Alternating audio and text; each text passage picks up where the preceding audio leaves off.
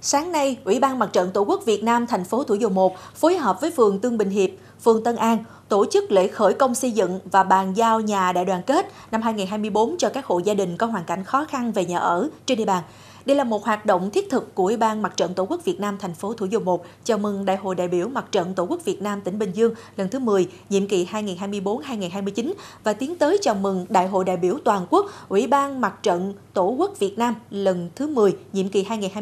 2024-2029.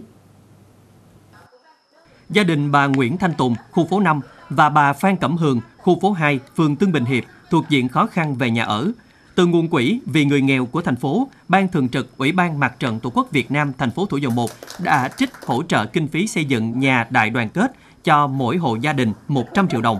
Dự kiến công trình sẽ hoàn thành, bàn giao đưa vào sử dụng vào tháng 10 năm 2024. Nay là cô đã được 66 tuổi rồi, cô mới được ờ, có căn nhà riêng của bản thân mình. Ờ, hồi nào giờ là cô ở nhà tạm của nhớ em thôi thì ờ, hôm nay được cái nhà như thế này thì cô rất là mừng. Trời, mưa dông sợ lắm. Sợ nó nó nó bay, nó sập không biết lúc nào. Ờ, rồi nay nghe được ờ, bên phường đồ hỗ trợ cho sửa được cái cái nhà thì mừng hôm nay có từng nay ngủ không có được. Nghẹn lòng nói không được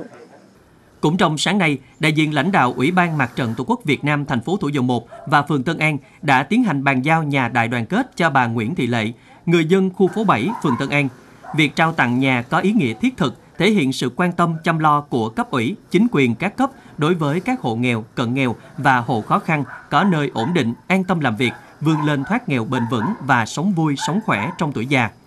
Tại buổi lễ trao tặng nhà đại đoàn kết, đại diện lãnh đạo Ủy ban Mặt trận Tổ quốc Việt Nam thành phố Thủ Dầu Một và địa phương cũng có những phần quà thiết thực gửi tặng đến gia đình giờ tuổi già rồi giờ cuối đời được cái nhà vậy là mừng quá chừng luôn rồi chứ không còn gì mà để nói nữa hết trơn